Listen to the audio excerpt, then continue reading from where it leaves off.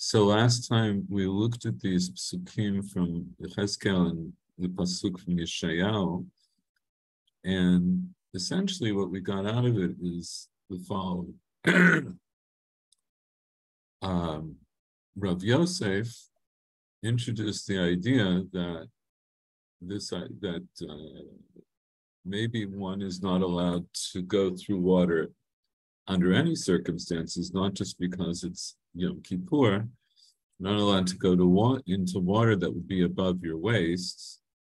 And as proof, he brought these psukim from Yechezkel, and where Yechezkel is led by, in a vision, he is led by like a malach, who measures out lengths of a thousand amot at a time, and the first length are water that came up to his ankle, and the second length was water that came up to his knees, and the third length was water that came up to his waist. And then the fourth measure was a nachal, right? Was uh, uh, a wadi that he said, "Asher lo labor," that I could not pass through. So Rav Yosef wanted to make a proof from that that once water gets above uh, the waist, you're not allowed to go through it. So I didn't. I didn't. I was. I listened to the shir uh, yesterday or this morning, and I, I realized, look, the the uh, the pasuk that this pasuk vayamad elef nachal asher lo uchal. So literally, it means that he measured a thousand, and it was a nachal that I could not pass through. So this term of uchal um, if you take it, you know, if you take it in the simplest understanding, it just means that he wasn't physically able to pass through it. Like he could not pass through it. But it could be that Rav Yosef understands that to mean that he wasn't allowed. Colloquially, we use that uh, the term like lo yachol or shar. You know, we use terms like this when we some when we sometimes mean that it's halachically impermissible. So I'm assuming that this is how Rav Yosef understood that pasuk, that lo uchal meant I, I couldn't pass through, meaning I wasn't allowed to pass through, which doesn't contradict the idea that he, he couldn't physically pass through. In other words, both of those things can be true. So Abaye said to him, the Nanachal is different because it's uh, rushing water. And then the drasha continues and says maybe he could have uh, passed through it by swimming or floating. But the hemshech, the continuation of that pasuk says kiga'u hamayim mesachu, because the water became great. It was water of sahu. And then it says nachal asher lo ye aver. The rest of that pasuk isn't in the Gemara, but that's the pasuk in Yechezkel we saw. It was me sachal sachu a nachal asher lo. It was a nachal that could not be passed. So um, both of those things, right? So it's it was so the Mesachu here would mean uh, the way the Gemara understands it is that Mesachu is water, waters of swimming or floating um, that could not be passed. In other words, the only, the only, I guess what it, you could understand that Mesachu that would be the only way that one could conceive of going with the water would be by floating, but they could not be passed. And um, then the Gemara continues, So maybe it means that you could get through it with a small boat. And then they then the Gemara quotes that pasuk from uh, Yeshayahu that uh, you could not go through it. A, a, a boat, a small boat, could not go through it. So we discussed this last time that it was it's a little unclear. It's a little strange because the pasuk from Yeshayahu, it's not clear that it's talking about the same water that Yechezkel was talking about. But in the context, the way it's brought down in the Gemara, it's brought as if it's a continuation of the waters that Yechezkel is talking about. Uh, and it finishes off by saying maybe, right, so you couldn't pass through with a small boat, maybe with a large boat, but the Hemshech of that Pasuk in Yeshayahu says, Lo. A, a great ship could not pass through it. So, as I said to you last time, I I believe I understand what Rav Yosef is trying to say, what the Gemara is trying to say, and it, it is saying that this that waters, the the waters that are described as coming out of the Beit Hamikdash, uh, ultimately, I guess when they get to that fourth stage, could become these unruly waters. So we saw that in um, it's not clear why the water, why water comes out of the Beit Hamikdash in Yechezkel. Uh, in Yeshayahu, we understood it to be altogether more of a metaphor that Hashem is going to uh, protect Jerusalem as, as if it was surrounded by great waters. So again, I don't know enough to tell you exactly how this all works. We're going to talk about it a little bit more because there's also a reference to these waters in Zechariah, which the Gemara is going to bring up. But okay, in terms of the halachic aspect, um, every so we should just mention. So Abaye had objected to Rav Yosef's objection. Rav Yosef wants to say, based on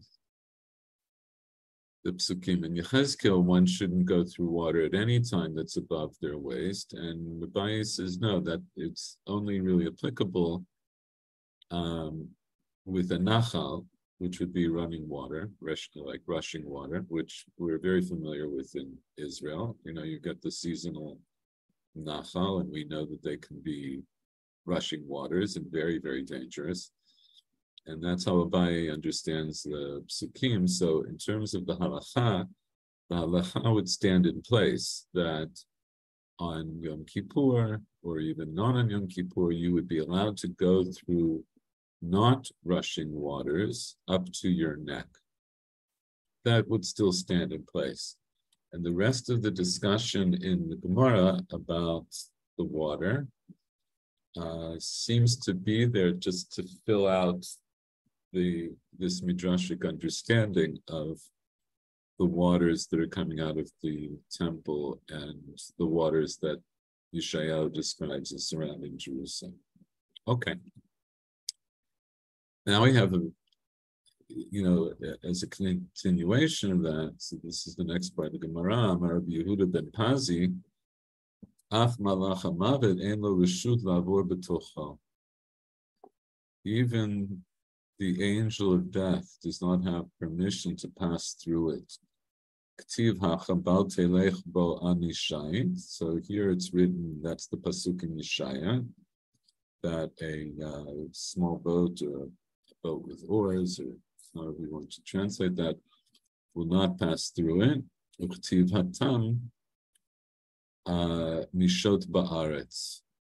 So this is, of course, a pasuk in Yov, which just give me a moment, we'll bring it up.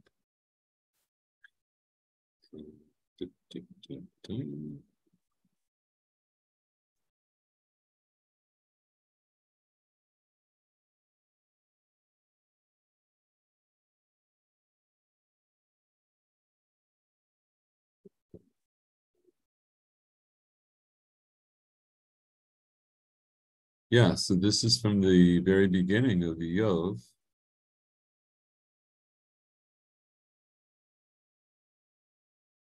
We can read the first few psukim. It's here in Pasuk Zion, right? So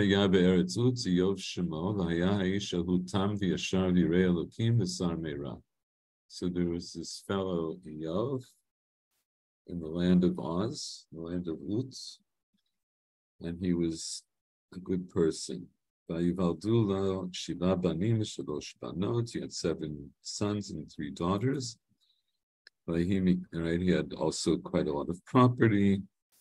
Um, and his sons went and made a mishteh, a party, Beiti Shiomo. They called their sisters to come and join them.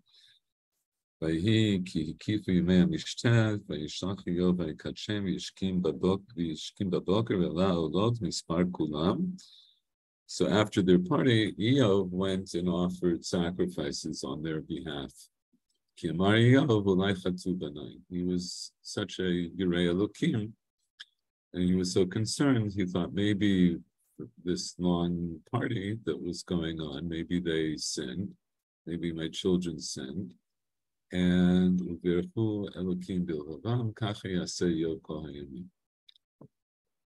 maybe they said something that would have been uh, heretical. So he gave uh, korbanot on their behalf, and this is how Yov conducted himself all of all of his days. So then we get to the interesting part of the plot. So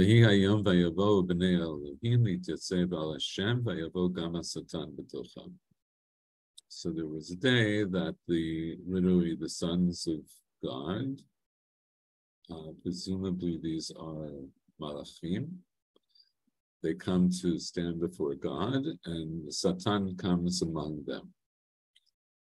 Uh, so Satan, not necessarily the way Christians understand it, but Satan means, you know, an antagonist. So one of them is an antagonist. So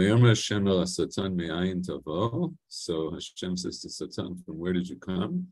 I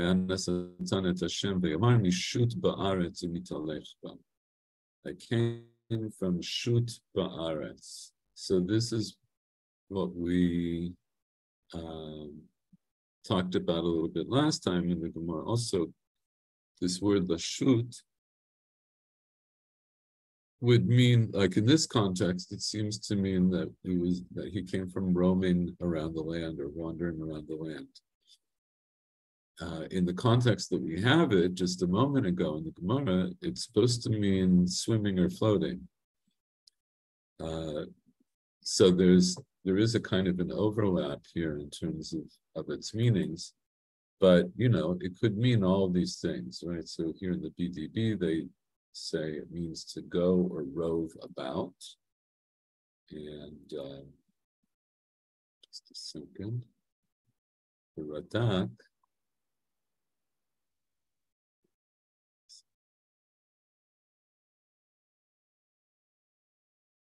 Just a moment.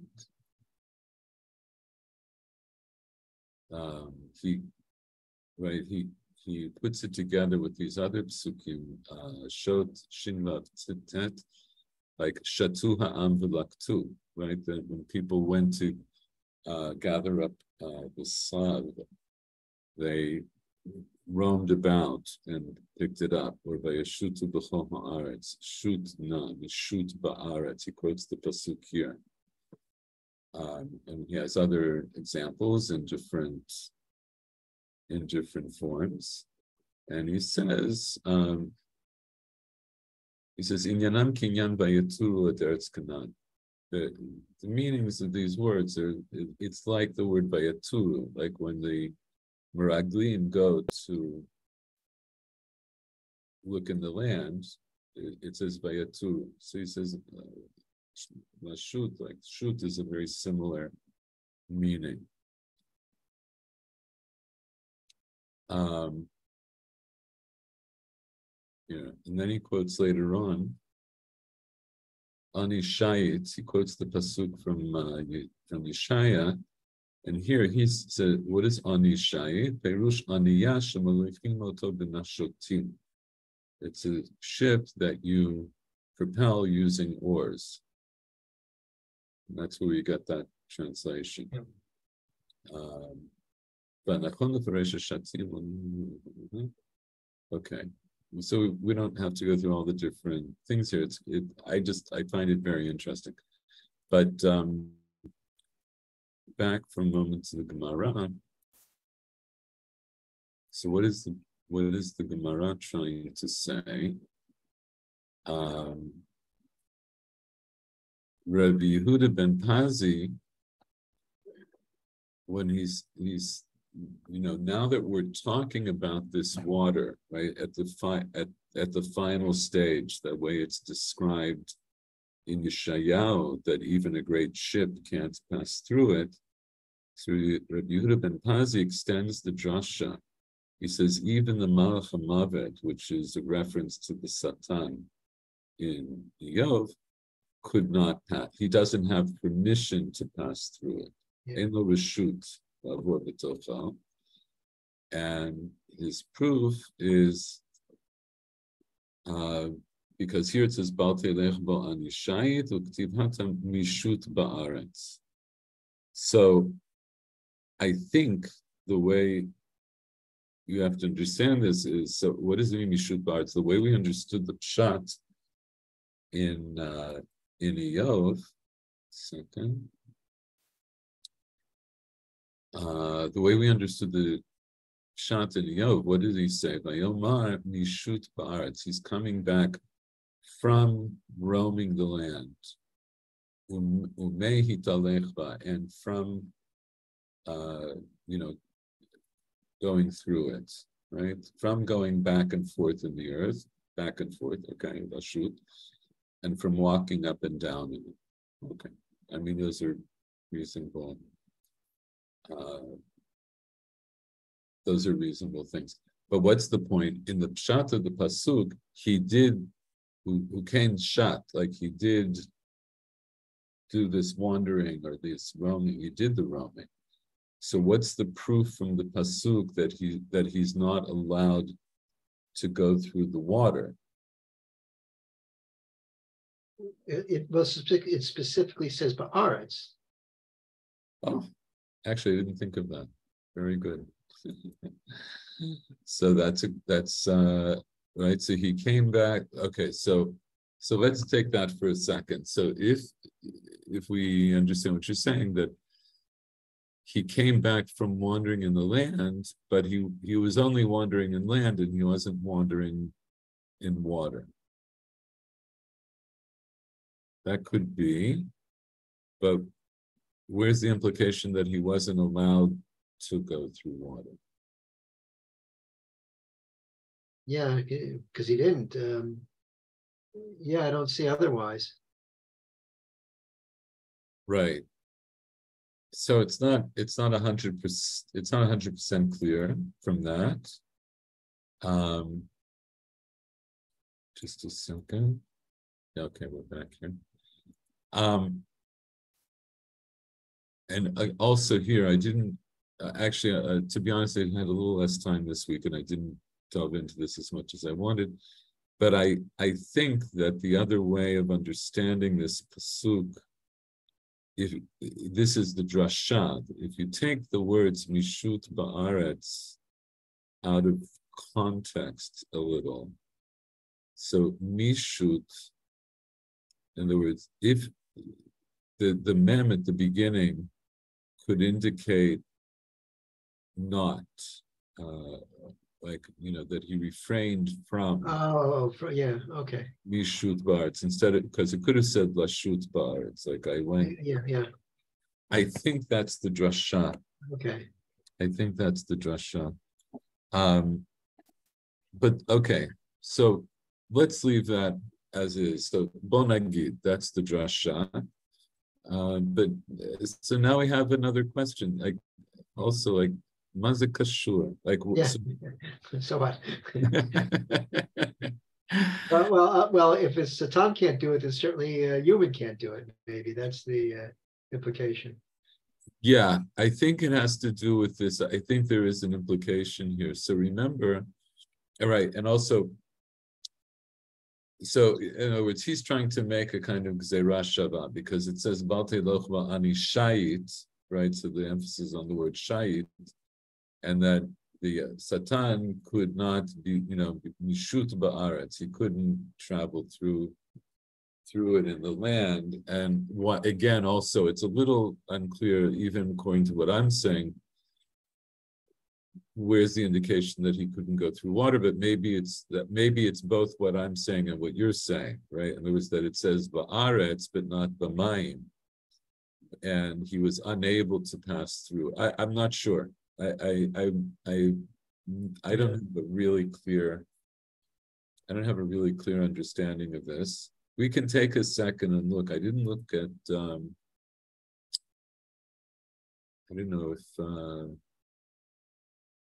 Steinsaltz is going to illuminate this anymore. We could take a look. Let's see.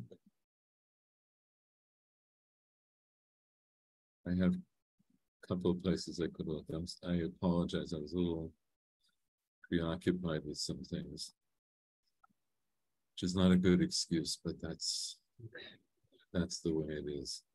Um, yeah, let's see what is Steinsaltz saying. Amar Yehuda ben Pazi af malach hamavet eno reshut lavor b'tocho. Me'ever l'tchum nahar he can't go through it beyond the boundaries of this river. Because here it says, Balte lech ba'ani shai l'ktiv hatam, Vayan hasatan et Shem ve'amar mishud ba'aretz mitalech ma sha'af ze hasatan ba'aretz lo yavur nahar ze. That the satan, even the satan in the land, cannot go through this um, through this river. So that's unfortunate. In other words, that's the plain understanding of the words, but it's not very illuminating. Yeah. Uh, with all with all respect to Rav Steinsaltz, but I know I'm not blaming him. He his whole shita in explaining the Gemara was not necessarily to say more than what the simple reading was. That was really what he was trying to do. Uh, I saw a back in the '90s. I saw a um, an interview with him in Haaretz, and that and that's what he said that the whole point of his Perush was to give the first reading to to people, but it wasn't to learn the Gemara for them. Yeah. Uh, so I think that was uh, that was a great thing. But it just occurred to me since we're here, and if you don't mind, yeah, I have this other Perush um, in Bar Ilan. Let me make sure you can see. It. Yeah. Called Chavruta. I don't know if you're familiar with this. No.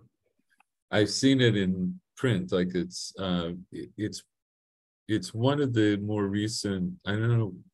I'm not sure when it was first published, but sometime in the last ten years, I think. Uh, it's a kind of a yeshivish reply to Steinsaltz, as it were. It's and and it, it's it, it's it's actually very good. It's also a very limited perush.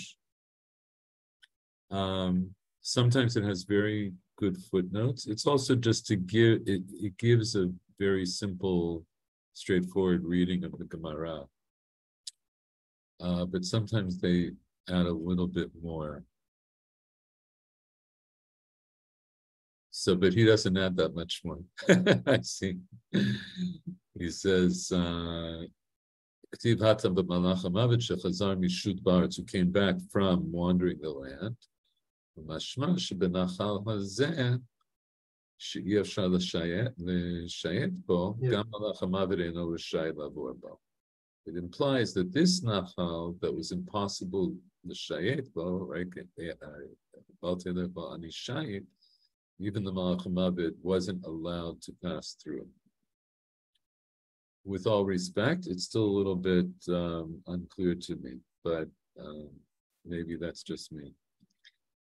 But yes, we're still left with the question of, of what exactly does it add. So the only thing I the only thing I can think of though is this. So based on the way we understood this uh, the use of this pasuk from Yishael last week, that it was the idea that Yerushalayim would be surrounded by these turbulent waters as a kind of protection of Yerushalayim. So it means that even the Malach HaMavet could not pass through them. That is, that Yerushalayim would be so protected.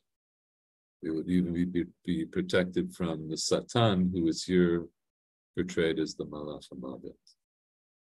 So that much I could say. Right? However, we understand the the the mechanics of the drasha. That seems to be what's what's implied, and the implication is not immediately important for the halachic aspect, but for the metaphorical slash midrashic understanding of why the what what the purpose of these waters surrounding Yerushalayim were, it adds an extra layer of of oomph, of power to them. so, continuing the Gemara now, Gemara is still talking about these waters, right? So now we're just going to digress and talk a little bit more about the nature of these waters. So it says, Amar Pinchas Mishum Ravuna Tzipora. Rabbi Pinchas said in the name of Ravuna Tzipora, which I understand to mean that he came from Tzipori, right? So Ravuna of Tzipori. Mayan Hayotse Mi Beit Kodshei HaKadashim the spring that came from the Holy of Holies. But in the beginning it was like the antenna of grasshoppers. Once they reached the opening of the Hechal, they uh, they became like the the the, the string of of uh, the. Now, I always get these mixed up, right? So the shet, the, the sheti, the shti, and the erev are the woof and the warp, the, the the, oh, oh, the, the yeah. woof and the warp of the uh, uh, the weft and the warp of the uh, of the loom, and um, the sheti is going to be thinner, and the uh, erev, uh, uh, the erev is going to be thicker. So, so first they come out like the antenna of grasshoppers. So it's extremely thin. So, in the way, let's just also follow the way he's describing it. So, the, according to the way he understands it, the water is coming out from the. It begins from the Kodesh Kodeshim. So it comes out the Kodesh Kodeshim, and now it's uh, moving to the opening of the Hechal, right? So it's going through the Kodesh until it gets to the opening of the Hechal. Once it goes to the gets to the opening of the Hechal, then it starts to get thicker, and then it's like fruit of Sheti. Kevan Shigil Ulam, once it gets to the Ulam, um, it becomes like the chut of uh, erev, it becomes like the weft. Um, and again, you have to pardon me because I actually looked this up again recently. I still forgot which one is the weft and which one is the warp, but it becomes the thicker one. Um, so that's a very short distance, right? In other words, so if you remember, right, the Hechal is uh, is let's say 40 amot from the from the end of the Kodesh Kodeshim, then the Kodesh is 40 amot. But between the opening of the Hechal and the opening of the, uh, until it gets to the Ulam, um, between the, from the opening of the, from the opening of the Hechal, then you have, in front of it, you have the Ulam and that's um, I believe that's five amot. You can check. Again, I apologize, I'm, but I believe that's only. I, I, think the width of the ulam is only five amot. Anyway, it goes from then the um, it goes out from the ulam, and then it comes to the opening of the azara. So that's the front of the ulam. Now you're at the beginning of the azara, and then it becomes um, kefi pach katan. It becomes like the spout of a small cruet, small pitcher. So it's getting increasingly wider as it comes out. Rabbi Eliezer ben Yaakov omers, as we learn that Rabbi Eliezer ben Yaakov says, "Mayim nefakim atidin liyot yotzin mitachat miftan habayit."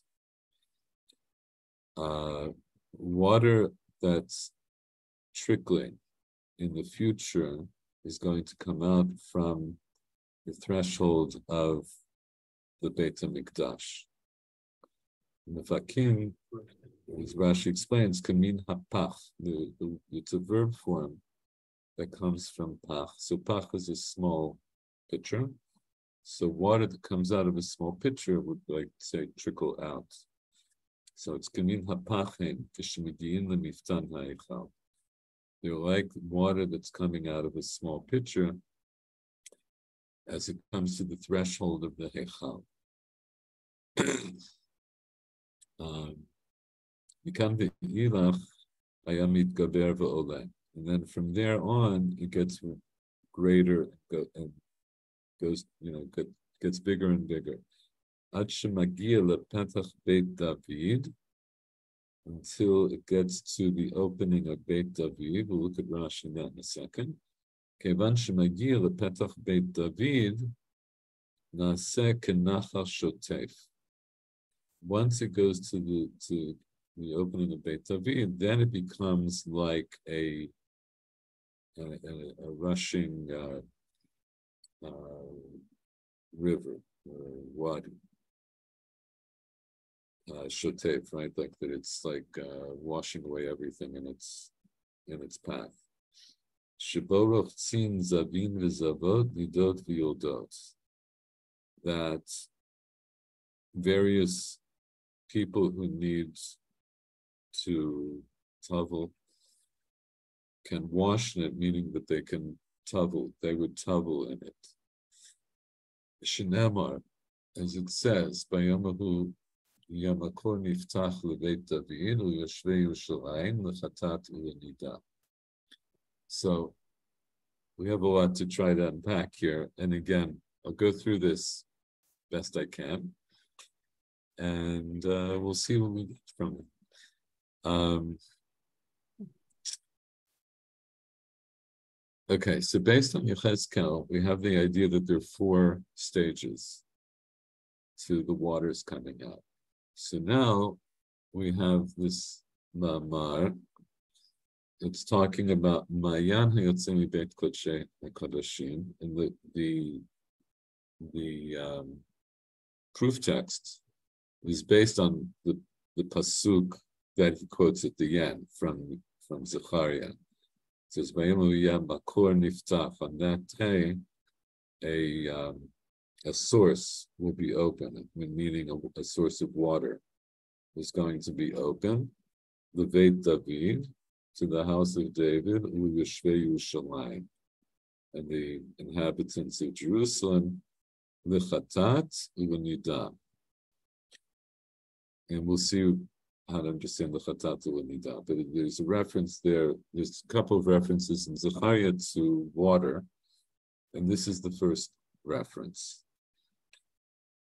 Okay, so he also describes that in the beginning, so it's here's the thing, it's not exactly the way Yechezkel describes, right? Because Yechezkel says water comes out and it's supposed to start to coming out to come out from the south side uh, of the Beit HaMikdash, and then it gets measured for a thousand uh, amot, and then it gets bigger, and another thousand gets bigger, another thousand gets bigger. And so here, the measures are different, and it seems the path is slightly different.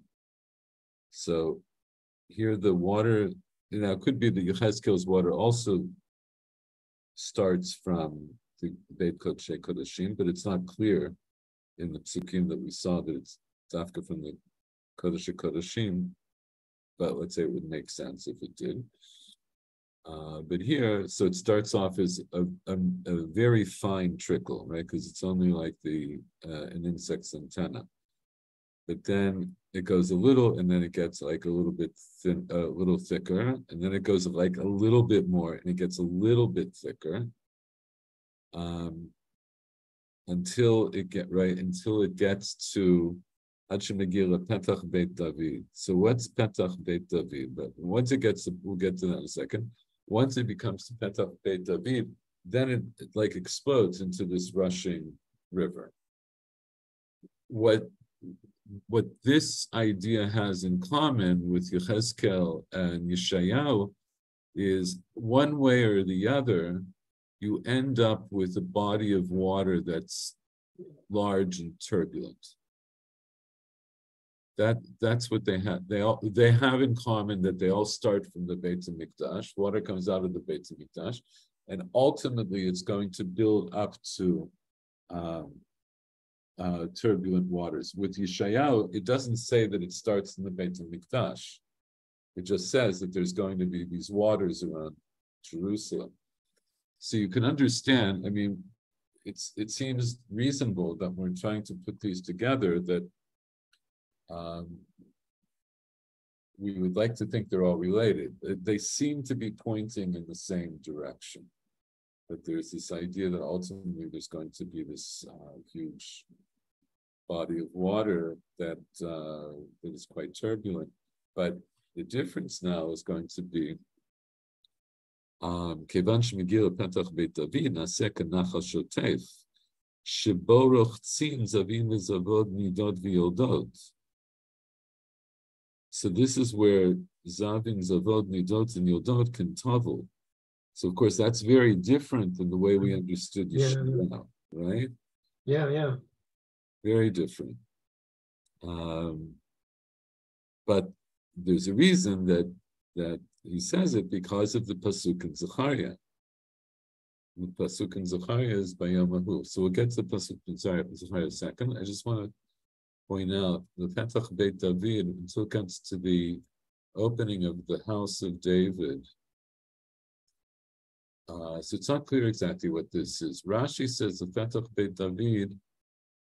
Um, there are actually two ways of reading Rashi. Uh, one of them is Hit Siyun Chutz Yerushalayim. It's a Siyun, it would be like a grave marker outside of Jerusalem. That would be Petach Beit David.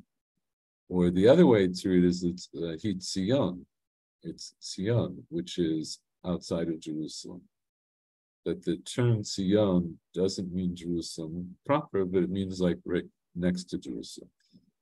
Uh, again, I'm not sure, but I think I saw somebody who gave this understood it the, the first way I said, so that's probably correct. And the way of saying Sion instead of Tziyun, that may just be my own misunderstanding. But it's not, but the idea, the, the idea of Beit David, um, what, you know, it's not clear to me exactly what that means. Does that mean like Ir David, which is, you know, near the Beit Mikdash, but it's not the Beit Mikdash. It's not exactly the same. Again, I can't I can't say much more about it than than. I don't know. But in the context, we understand that this is the water. Certainly, way Rashi understands it's water once it leaves Yerushalayim proper, is when it becomes this unruly body of water, which would be like uh, the understanding of the water that Yeshayahu is talking about, which is also surrounding Yerushalayim, and also most likely the way Yechezkel should be understood, because it's already, you know, it begins at 3,000 amot outside of uh, the outside of the temple. Oh. Right, the fourth, the fourth thousand is 3,000 amot from the temple, so it will also be outside of Jerusalem. So again, it seems like they're all pointing to the same to the same water. Now, why does he say that this is um, water that Zavin Zavod Nidot and Yodot Tavlin because of this pasuk in uh, Zechariah. One second. Uh,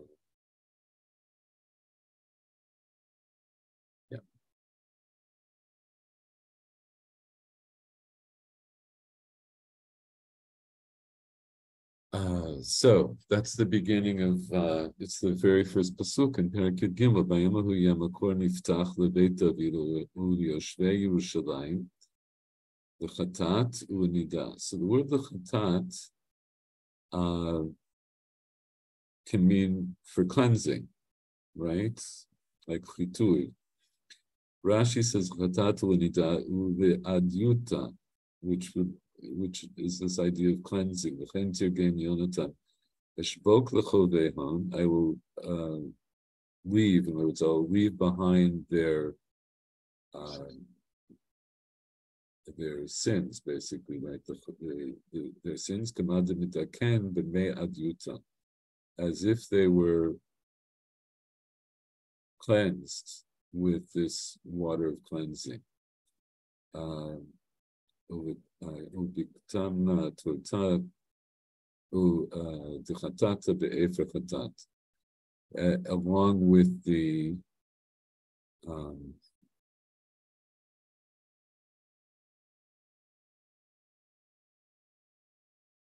the ash, along with the ash of the para, right? So that's a, it's a bit of a drush, but the idea is that um, there's going to be this, but you know, this uh, well of water, this um, spring, this spring of water, maybe that's redundant. This spring is going to be open to Beit David and to the inhabitants of Jerusalem that's going to be for, for cleansing, essentially. Um, yeah, here they say, the, or you could say for sin and for sin and for impurity, right? So chatat would mean like for sin, uh, and nida would be refers to impurity, but you know, so there are different ways of breaking it down. So if you take the English translation here, they, that's how they understand that chatat and nida are synonym. They're synonyms.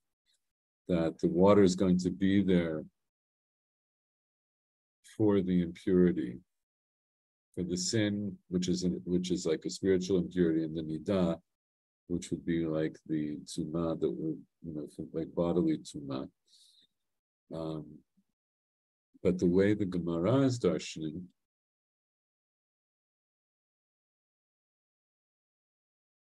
just to see. I always check. No, I try to check to make sure I'm on the right page. Um, so the way the, the, way right the way the Joshua but Pinchas goes Shaboroch Tzin Zavim Nidot V'Yodot. So it seems like the way he understands it, lechatat or nida, lechatat would be like chitui, like for cleansing, for the nida. It's a little hard to read in the words because it says ula nida. It should have said lechatat linida, right? But he, it seems like this is the way he's understanding it. That this is what. Okay, so now, agav actually the nida doesn't have to. Uh, doesn't have to tavel in Meimaya. The Zav does. Zav needs Meimaya. It needs Maim Chayim.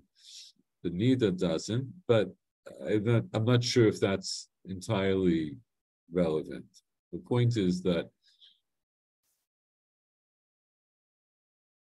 to bring it, you know, to get a, you know, a, maybe a larger perspective. So now we have, again, we have this other drasha from Zechariah that's talking, that we have a pasuk from Zechariah that's talking about water that is um, going to come out of Jerusalem somehow. So it doesn't give us a path like it does in Yechezkel, but it comes to Beit David. So the idea, again, the idea seems to be that we're going to identify this water as being like either the same or similar to the water of Yechezkel and Shayal. And this water will come ultimately for cleansing purposes, right? For some kind of chitui or tahara. So, okay, and so then the thing that strikes us is, but wait a second, the water of Yeshayahu is uh, right, lo yavorbo right? You can't go through this water. Yeah, yeah, So- here, And here we're talking about people tuveling in it. yeah. So it's not, it, it, it, so is it the same? Is it different? What exactly are we talking about? Um, so let's go on a little bit further. Gemara, Amar Rav Yosef, Mikam Remez Lenida, Shetzricha Leishev Atzavar Abamayim. So this is, right, this is a remez, this is an allusion to the idea that a nida, when she tavels, she has to sit up to her neck in water. Why does he say that? Because he's it's talking about this water, and says this water that's coming from uh, that's niftach lebeit David. It's going to be for a chatat for for a nida. So a nida can tavel in this water, but based on what we know, in if assuming that this water is like the water is is the way that um, Rabbi Pinchas describes that in its in the final stage, it becomes a nachal shotef sheboroch tzin zavin v'zavod nidot v'yildot. So based on this idea that in its final stage, it's a nachal shotef, it's a flowing river that these people can tumble in it. So Rav Yosef says, ah, so it tells you that it must be that it's that um, when it that Anida must have to be in the, in such in, in this kind of water, because the pasuk says l'chatatu Anida. So I just want to point before um, and then the Gemara says, right? Halach is not like Rav Yosef. Before we look at Rashi, I just want to point out again, it's interesting, Rav Yosef, who began this part of the Gemara by bringing the psukim from Yechezkel, is inclined to learn out uh, from these psukim uh, halachic imperatives. It's not it's not immediately clear to us that this is the case, but when he quotes the psukim from Yechezkel, um, he says, "I see from these psukim in Yechezkel that one is never allowed to go through water above their waist, even though I could read those psukim and say it's not a halachic imperative that you're not allowed to do it. It just means that when Yechezkel had this vision, the vision that he had, where the water got above his waist, he wasn't able to pass through it. But as I said earlier in the shiur today, that this idea of lo uchal or lo yaver, he understands those to be halachic imperatives that Yechezkel wasn't allowed to go through them, and it was a halachic imperative not just for Yechezkel, but Yosef says we can extrapolate from that for anybody. No one should be allowed to go through such water. But now we have this water, and here in Zechariah, the water says that it, you know, it says nida. It's it's for a nida. So again, if you understand the water to be the way Rabbi Pinchas describes, that it's a nachal shotef, so then Rabbi Yosef is saying, the way the water is described here is, you know, it's for Anida, and she has to be in water that where she sits down, it comes up to her neck. Which, in other words, what's the whole just to understand the halachic implication? The question, right? So if we say that Anida has to tavel in, she's taveling in a mikvah, the mikveh has to be 40 sa'ah. But the shape of the mikveh is not prescribed by halacha. So you could have water that's just enough to cover the person when they're lying down. But as long as it's all together 40 sa'ah, then it's a kosher tevilah. And Rav Yosef is saying, no, I see there's an illusion here that this water, which is supposed to be for a nida, and it's a nachal shotef, must mean that it has to come up to her neck. But the the whole thing is again, it's very it's the whole thing is very difficult because he says shetzichat le'shev at mm. that she has to sit enough that right the water comes up to her neck, and where's the remez to that? Like, how does he know that she has to be sitting? How does he know that it's up to her neck? But what's interesting, of course, is now we're back to the neck, which was what yeah. Yosef, to begin with, had objected to. Yes. Right? You're not allowed to go through water that's up to your neck. And Abaye says, "Oh, but that's in a that's in uh, that's in a nachal, and here this is a nachal." Yes. this is a nachal. So why, you know, but the, so it's not clear how all these things add up, right? I, I it's not clear to me. I, I really, I have not been able to put the whole thing together, but um, because it seems to me, as I said, that the these different Nevi'im, Yechezkel, Yeshaya, and Zechariah, who are all talking about water coming out of Yerushalayim, one might think that they're all talking about a similar vision, but actually, they're, each one is different. And so, does that mean that that was each one had their understanding of this nevuah, or did each one have completely separate nevuot? And they're actually talking about three different instances of, of water. So we understand that the Gemara links Yeshaya to Yechezkel, right? We saw that. That's the, that's that's the way the Gemara understands. When we get to this drasha from Zechariah, it's not clear. It seems that it's brought here in light of the psukim from Yechezkel and Yeshaya, and so we would tend to think that it's describing a similar or the same vision, but the vision is different. So I don't know. I'm not a Navi. But, you know, there is this idea that Navim um, uh, various Navim could have could have had the same Nevuah, but the way they express it is pe- peculiar to that Navi. So you see this throughout Nevi'im, right? Because we have a lot of Nevi'im who are talking about the impending destruction of the temple, for example. But they they don't use identical language. They use very different language and they use different metaphors and they use different ways of, of describing it.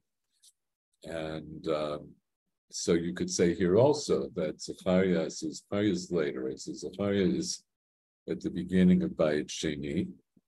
And Hezkel's like in between and Yeshayahu is, is uh, before the destruction and right, you know, before and maybe right after the destruction, depending on how you understand the Yeshayahu. So they're coming from different eras, but they're all talking about water coming out of Yerushalayim. And so we're also still left with what the point of the vision was. The most that I think that we've been, like the, the most explicit, I'd say, that we got was from Yeshayahu, that the point of having this water on Yerushalayim was to be protective. But in the context of Yeshayahu, it was a metaphorical water that was being protective in that generation of Chizkiyahu and his generation.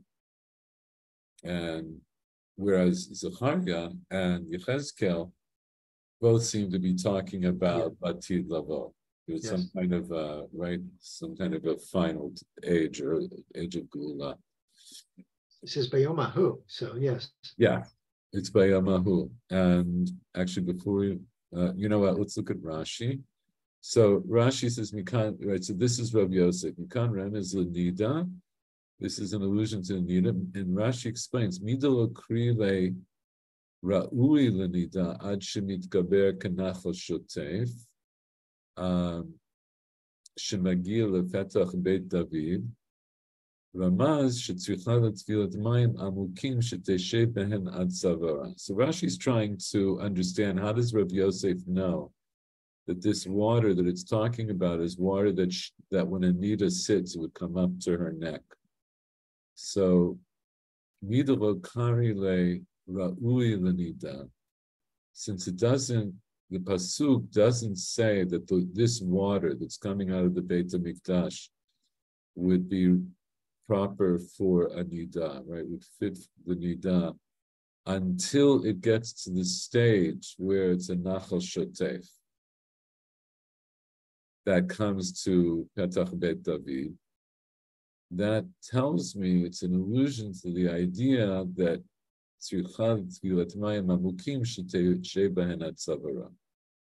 in other words, the water, right? So, uh, uh, uh, Rabbi Pinchas, who starts this, this started the part of the Gemara with his drasha, he's saying that the water that Zechariah is describing is this water that comes out of the Kodesh Kodashim that's very that trickles out very thin, and then it's a little thicker, and then it's a little thicker, and then it's a Nachal Shotef.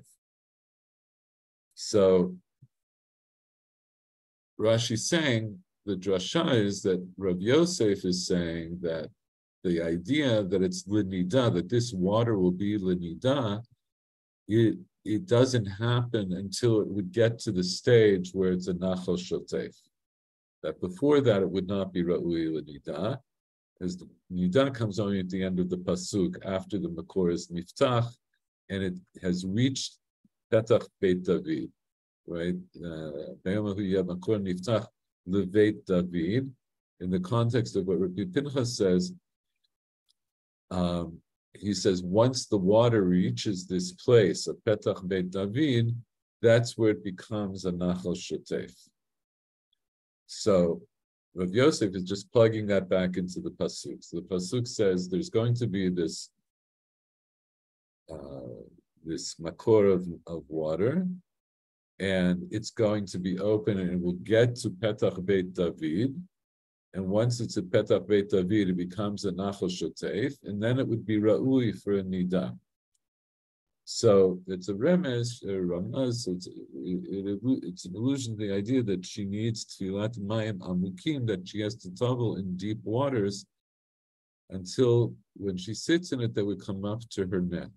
So it doesn't say that specifically, but Rashi's saying this is how Rav Yosef is understanding.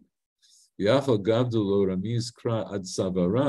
the pasuk doesn't tell us, right? It doesn't say explicitly ad sabara. Ramiz miha amukim omek It does tell me that they're going to be deep waters, and so it would have to be of an acceptable depth, a, a de- depth, right? A, a, proper depth, and that would be karaui. That would be proper. So it's not before Rush, but the idea is that Rav, Yosef does, in fact, the halacha, want to say that when a nida goes to tavel, that the water has to be in in a shape that when she sits down, it will at least come up to her neck. But we don't ask in halacha like uh, like Rav Yosef. Okay. I think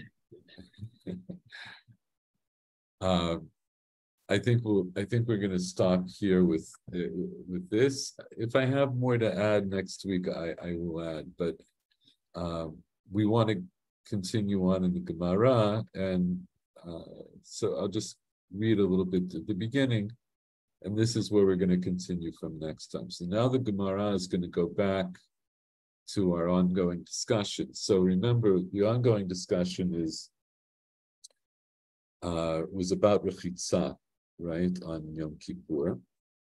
And we discussed that a lot, and under which circumstances are you allowed to wash or go through water, etc. Uh, but one of the things that we said, of course, is that one is allowed to walk through water on Yom Kippur, uh, provided that it's not above your neck and provided that you don't lift up your garment to, as it were, carry your garment as you're going through. So now the Gemara says that it says in parentheses, Tenach Yom Kippurim deleka min al, or man al, right? So this is okay. You could say this about Yom Kippur where you don't have a shoe. This is in parentheses because Rashi says that we're not go race that phrase. We'll talk about that next week, whether it's important or not. But the but the Gemara goes on to say Shabbat manal mai. But what about Shabbos when you are wearing shoes? In other words, what's the din about going through water on Shabbos when you're wearing shoes? Because why? Because are we going to be worried that your shoe is going to come off when you're going through the water, and then you you'll then you'll want to carry your shoe, so you don't lose your shoe, and you're not allowed to carry, as we mentioned before, you're not allowed to carry in water. Uh.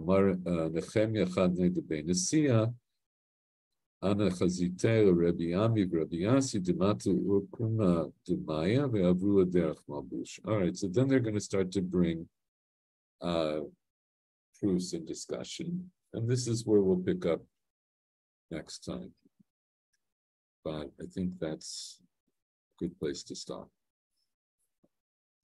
Okay. All Uh, right. Thanks. Uh, so I Thank you. won't see you next week. I hope somebody comes next week, so we'll see. Okay. Listen, it's August, I understand. Yeah, it's, uh, Okay, quiet. take it, take care. All right, thank you very much. Good night. Good, good afternoon. Yeah, and I'll send you Michael's contact information. Okay, yes, please. All right, thank you. All right, bye-bye. Bye.